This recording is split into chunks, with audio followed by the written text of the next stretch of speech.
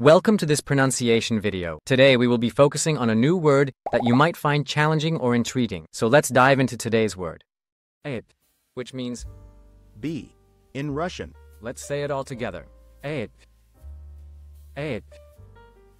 Ape. One more time. Ape. Ape. Ape.